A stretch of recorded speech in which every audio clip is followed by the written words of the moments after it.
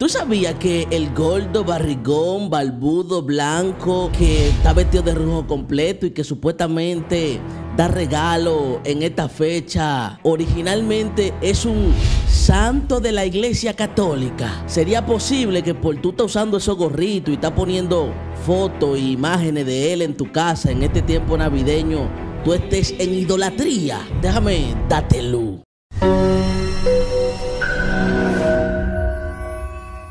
Bendiciones familia, welcome again to Dame Luz, bienvenidos a Dame Luz, estamos súper contentos disfrutando pues de este tiempo tan especial, esta fecha tan especial para, para todos nosotros, no por, no por las celebraciones comunes que hay, sino porque es un tiempo que nos une mucho como familia. Y hoy les tengo un video muy especial para darle luz sobre el, el misterioso Santa Claus, Santo Nicolás de Miria realmente, así que se llama. Pero antes de yo continuar, por favor, suscríbase a este canal, dele like a este contenido, active las notificaciones, manténgase activo. Es una forma también en la que usted nos puede apoyar. Recuerde que también nos puede apoyar a través de PayPal y Super Chat. Los links están en la descripción para los que desean apoyar y ayudarnos a seguir manteniendo esta plataforma en pie. Vamos arriba, vamos a desatar código, vamos a desatar misterio en esta hora. sí, señora, así como ustedes lo vieron en el título de este video, la figura de Santa Claus, que es una figura muy popular en esta fecha, principalmente desde el 6 de diciembre al 25 de diciembre, se habla mucho sobre Santa Claus.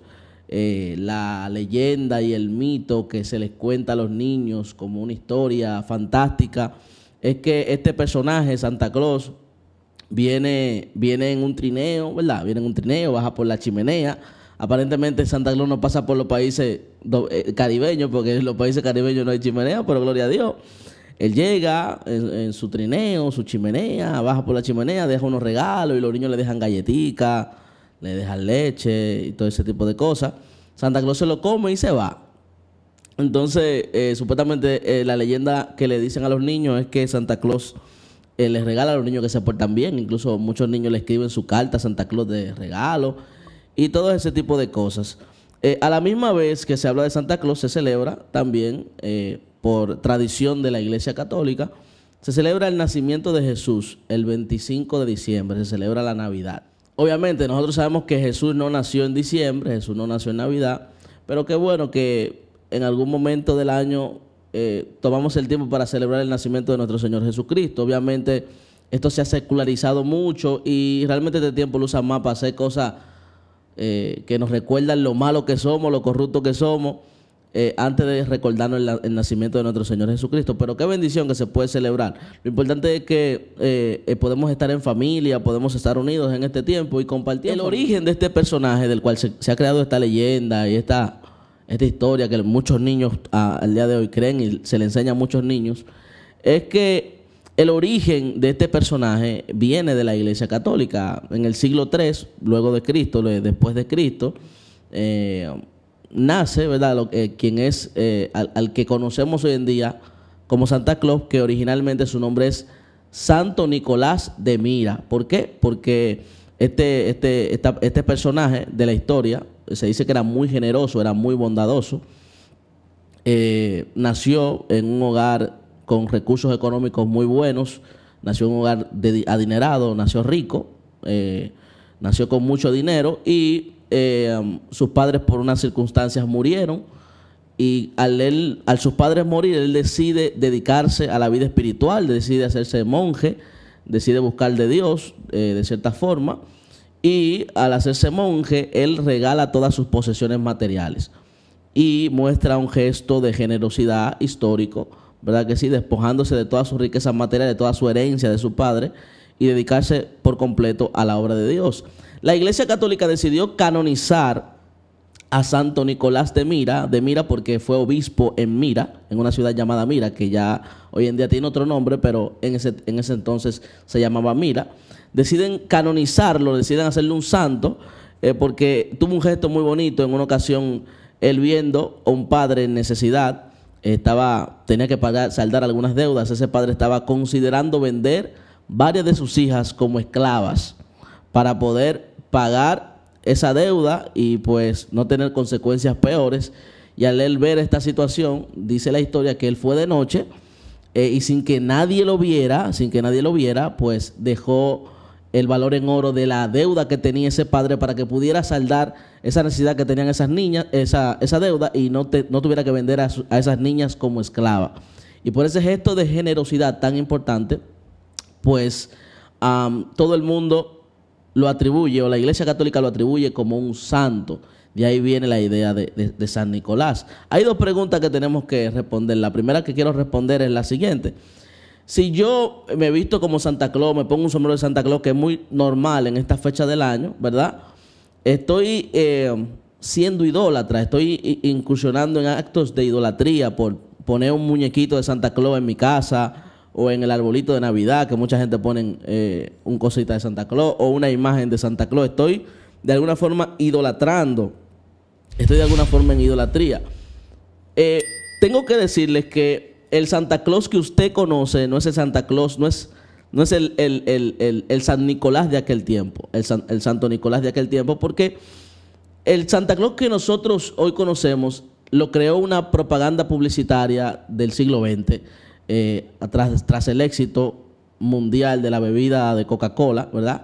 Coca-Cola en tiempo de Navidad, Coca-Cola siempre ha vendido mucho la, familia, la felicidad, todo ese tipo de cosas. Como tienen un producto que hace daño, ¿verdad? Como tienen un producto que hace daño, pues ellos no te venden el producto, ellos te venden felicidad, te venden amor, te venden, ¿me entiendes? Te venden eso. Y San, Santo Nicolás representa mucho de eso. Ellos tomaron la imagen histórica de, Santo de, eh, de San, Santo Nicolás y la convirtieron en ese personaje que ustedes ven vestido de rojo y blanco, que son los colores emblemáticos de esta marca, ¿verdad que sí? Eh, y, tomaron ciertos elementos y crearon todo eso que ustedes conocen hoy como Santa Claus. Ese sombrerito, todas esas cuestiones, todo eso lo creó Coca-Cola en el siglo pasado. Así que en esencia, ese Santa Claus no es en esencia el, santo, ¿verdad? Que de una forma u otra se venera en la Iglesia Católica y, que, la iglesia que la Iglesia Católica ha, ha canonizado, ¿me entiendes? Entonces, no es lo mismo, son dos papeles diferentes. Lo que sí pudiera ser complicado es eso de, de, presentar a Santo Nicolás como un ser generoso, tratando de opacar la imagen de Jesús. Eso sí lo hemos visto mucho en los últimos tiempos. Eh, muchas veces se vende a, Santo Nicolás y se le enseña a los niños que eh, las dádivas vienen de San, de, San, Nicolás, que yo tengo que portarme bien en el año, yo tengo que ser obediente en el año, ¿verdad? Para que Santo Nicolás o Santa Claus me deje un regalo en Navidad. Y eso es algo que yo creo que los cristianos debemos de considerar, porque lo que nosotros les debemos de enseñar a los niños es la obediencia a Dios. Y tenemos que enseñar a los niños lo que dice la escritura. Por eso esa comparación ni siquiera tiene sentido. ¿Me entiendes? Eh, no podemos estar en esa batalla de, quién es más generoso, si, si Jesús o Santa Claus. E, e, esa, esa comparación ni siquiera cabe. No sé, si, no sé si, si, si, si me puedo dar a entender correctamente. Porque de una u otra forma, en esta fecha, muchas veces la imagen de Jesús queda opacada por la imagen de este personaje de Santa Claus. Y es importante que nosotros mantengamos la enseñanza y el mensaje de que toda buena dádiva, que es lo que dice la Biblia, dice la Biblia, déjame buscarlo aquí, Santiago 1.17, toda buena dádiva y todo don perfecto desciende de lo alto del Padre de las Luces, en el cual no hay mudanza ni sombra de variación. Toda buena dádiva viene de Jesús. Aplaudimos esos gestos históricos de Santo Nicolás al salvarle la vida a tres niñas y todo eso. Pero recuerde que Jesús salvó la vida de todos nosotros, de toda la humanidad. La Biblia dice en Filipenses capítulo 2, Filipenses capítulo 2, desde el 5 en adelante, dice que, que, que, que tenemos que imitar a Cristo en toda nuestra manera de vivir.